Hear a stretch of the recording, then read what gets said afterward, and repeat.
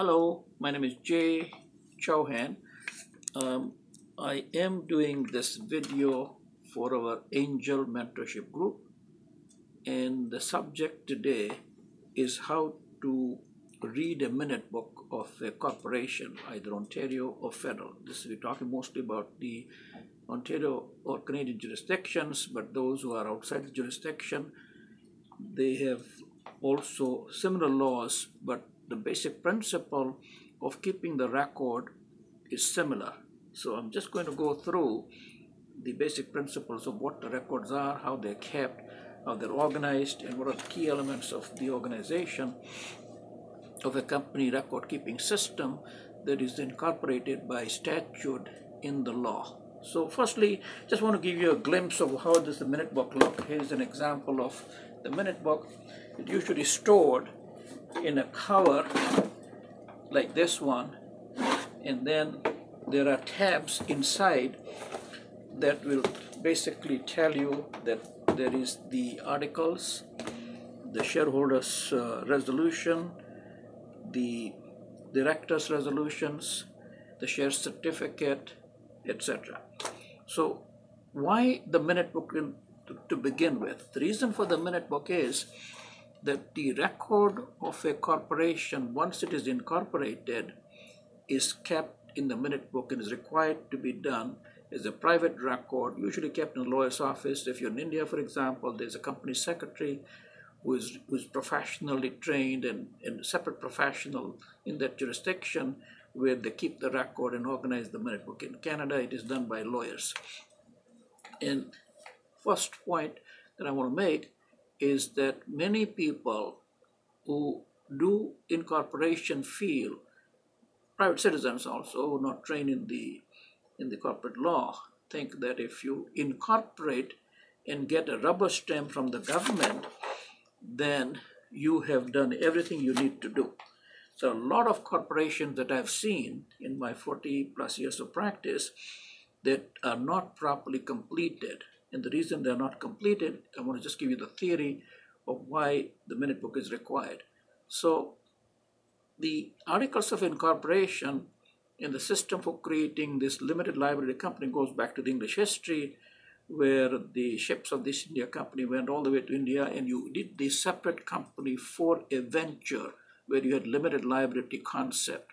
So those people who invested in the shares were contributing capital to the share capital value in the financial statement that was limiting their liability to that extent and only that extent. So the personal liability concept for any business venture was, was created as separate from the corporate liability and that has fundamentally changed the economics of all the countries where the corporate law is used to create a venture with, with uh, risks limited from the point of view of the capital you do. So create this concept you need the system of creating an artificial person, which artificial person is, is a non-existing uh, human being, but a paperwork, which is all in this minute book that I just showed to you.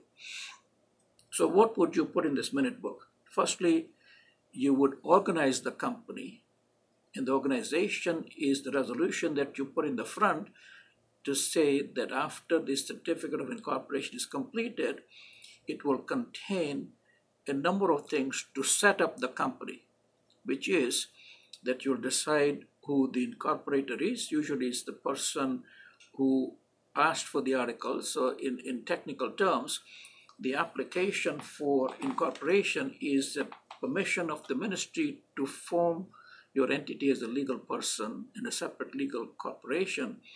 And the first persons who ask for the articles are also the persons who will be uh, the first shareholders and directors.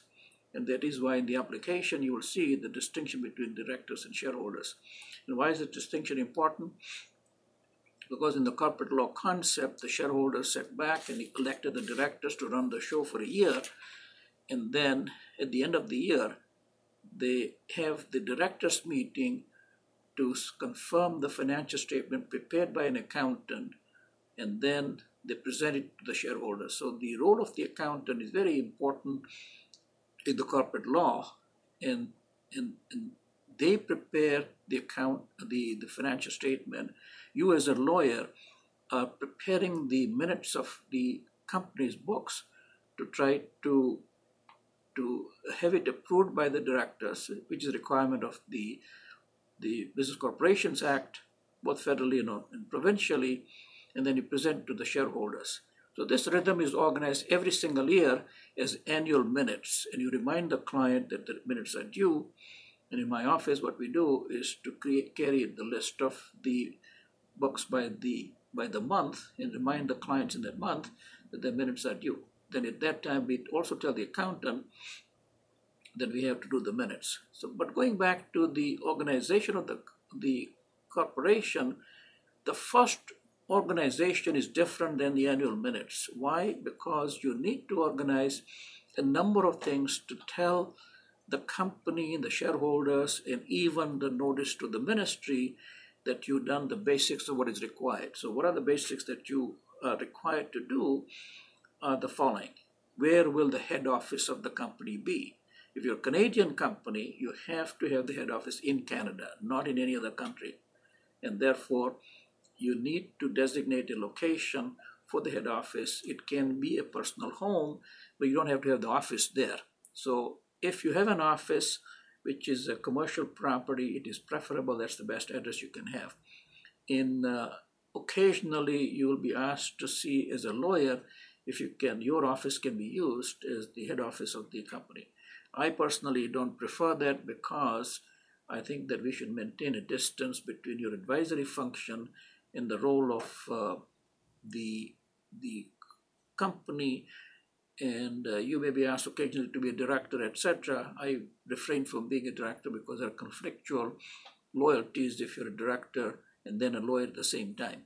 But i think that if you maintain the distance then i think it is advisable to do so. So coming back to the head office you need to mention that in your resolution that head office uh, you know will be designated recorded and notified to the ministry. The record of the ministry is kept at 363 University Avenue, where you record a copy of the initial notice, as it is called, which shows the initial directors appointed and the office bearers and the head office of the company. So that notice is the only public awareness of what the company initially did to appoint the directors in that company the shareholders are a private record in, in Canada, and therefore, once you organize the company, even the original incorporator may not remain the shareholder, and therefore, you may not see the name of the shareholder even in the records.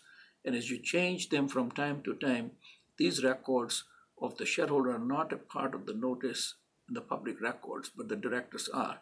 And why are they um, public records because if you want to deal with an entity which is a separate legal person as a legal entity, you need to reach the people who govern that entity.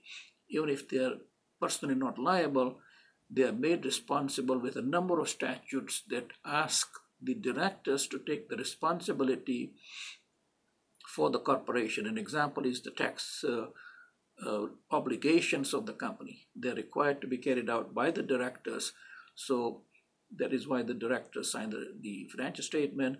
The tax department will deal with this uh, person responsible in the corporation for the the payment of the taxes and completely financials, the, the tax returns, etc. But if you, for example, dealing with HST, then the liability, the way the tax department sees it, is personal in the name of the director who receives the money for HST and is required personally to remit it to the government. If it's income tax, the liability belongs to the corporation.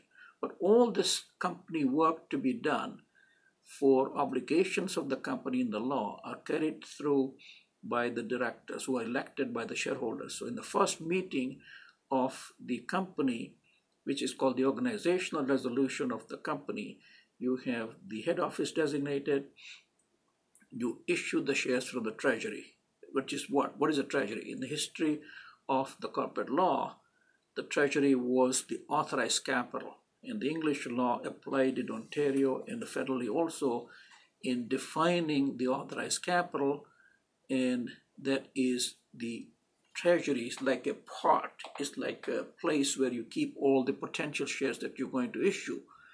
And uh, in the past, you used to have to pay the filing fee for the government based on the authorized capital. But the law in the recent years, in the history of the corporate law, has changed in Ontario and Canada, basically, where you can uh, simply issue the shares, unlimited number of shares in the company. So when you start the company, in terms of the issuing of the shares, you have to record all the share certificates. So in the end of the minute book, you would also have the list of all the shareholders in the shareholders register.